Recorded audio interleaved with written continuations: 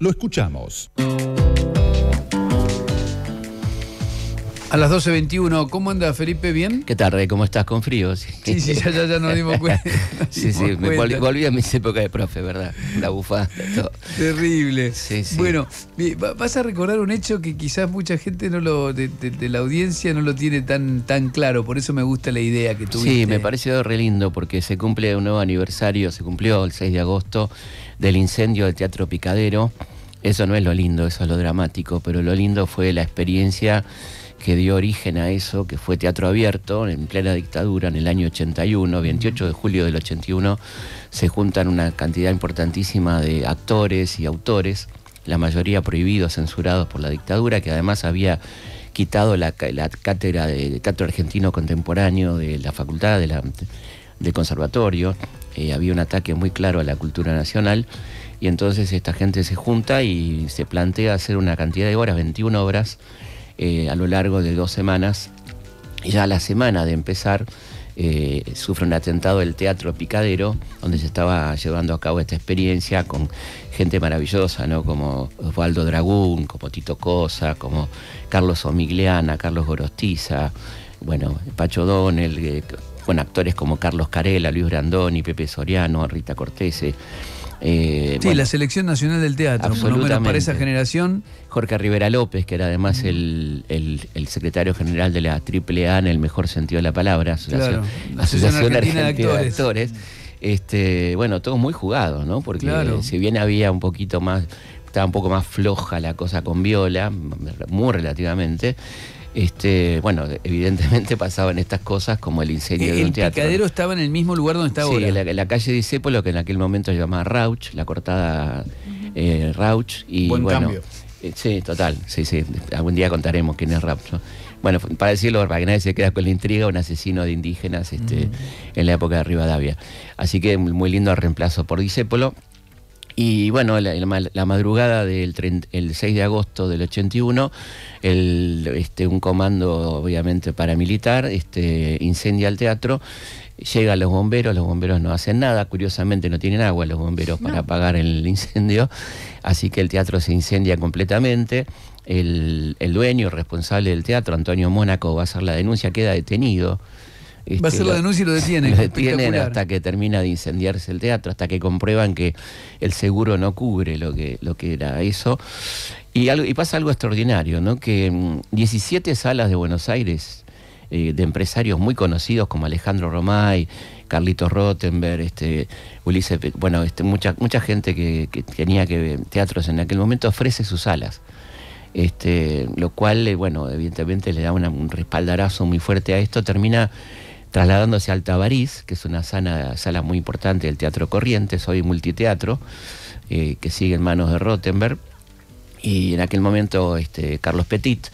Y eh, la verdad que esto, eh, lejos de, menguar, crece enormemente y... Se produce el efecto contrario. Totalmente, se extiende la programación. Bueno, hay obras memorables, ¿no? Como Gris de Ausencia, Tito Cosa, Lejana Tierra Prometida de Ricardo Alac, eh, de sí, sí, de, decir de sí, de Griselda Gambaro, tercero incluido de Tato Pavlovsky, oficial primero de Carlos Omiliana, este, el acompañamiento, ¿no? Actuaciones maravillosas, Belice Dumont, de Carlos Carela, ¿te acordás? Seguramente. Sí, claro. Tuve la suerte de ver alguna de estas, este, era muy impresionante, además eh, hay un muy lindo documental que recomiendo que se llama País Arreado Teatro Abierto, del año 1990, eh, dirigido por Arturo Balaza, que se lo recomiendo, está en YouTube. Ah, donde, donde hay testimonios de toda esta gente. Teatro Abierto. Sí, testimonio de toda esta gente. Y ahí todos cuentan lo mismo, ¿no? El clima que se generaba en las obras, que todas tenían un contenido muy profundo, este, algunas cosas tangenciales o o de alguna manera simbólica. Ah, no, pero se empezaba a hablar de, la opresión. oficial primero era nada más y nada menos que, una cuestión de tribunales y de juicios vinculados a la represión. Este, bueno, Gris de ausencia, que hablaba del exilio, ¿no? Bueno, todas, todas obras que tenían que ver con temas de los que no se hablaba desde el 76 probablemente y, un poco antes también. Y bueno, tuvo un éxito de público, una enorme repercusión que además tuvo hermosa consecuencia, como por ejemplo que contagió otras actividades, ¿no? Nació danza abierta, música siempre, Música Siempre, que fue hermoso, eh, libro abierto, poesía abierta, tango abierto, ¿no? Este, a partir de esto y se hizo una edición del 82 y una del 83 eh, de teatro abierto, el 82 todavía en dictadura, mucho más potente, este, ya un poco más este, abierta la cosa, ¿no?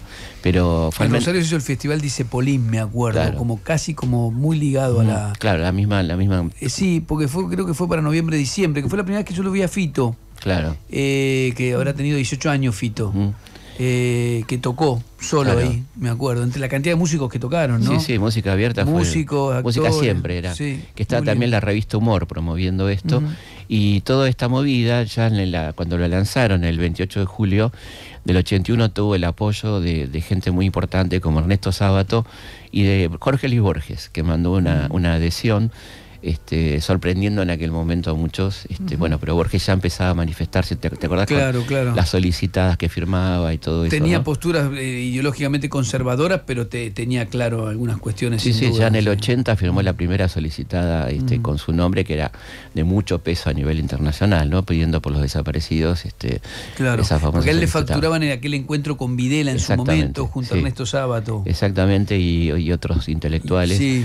Eh, y bueno, pero él después dijo que se fue enterando de lo que fue pasando. y bueno, él estuvo en una sesión del juicio a las juntas y es muy impresionante. No es un cuento, ¿no? Es un relato de lo que él escribe de esa presencia en la sala de, del juicio está búsquenlo en internet, muy interesante. Ahí donde cuenta esto de se comieron a los caníbales, ¿no?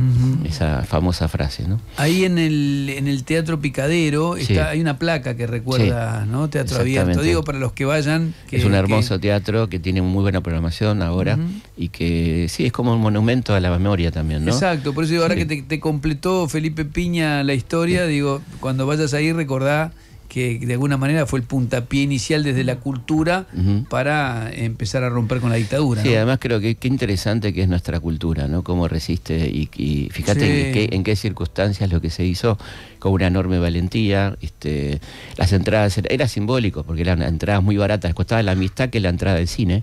O sea que realmente fue muy popular, fue mucha gente y los actores lo hacían obviamente no por una cuestión. Algunos era una fuente de ingreso porque no podían trabajar. Claro, la lista negra era tremenda, había más de mil actores y, cantantes y músicos en listas negras eh, que no podían trabajar directamente, ¿no? Sí, sí, totalmente. Así que Buenísima. Esto fue... la, historia de teatro abierto por Felipe Piña, eh, esto ocurrió un 6 de agosto de 1981. 81, gobierno de Viola todavía.